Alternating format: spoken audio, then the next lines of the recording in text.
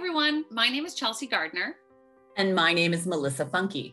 And we're the hosts of the Peopling the Past podcast. If you liked what you just saw, check out our other content on peoplingthepast.com, including a regular blog series and, of course, our podcast, which focuses on daily life and real people in the ancient Mediterranean world.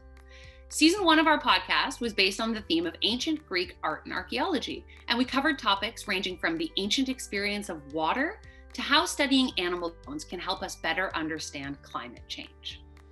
Season two features Roman art and architecture with topics including magic, sustainability, and the archaeological remains of children's shoes. You can find our podcast on Spotify, Apple Podcasts, Google Podcasts, and Stitcher. You can also find it at peoplingthepast.com along with all of our other material. So join us as we dig into the real lives of real people in the past.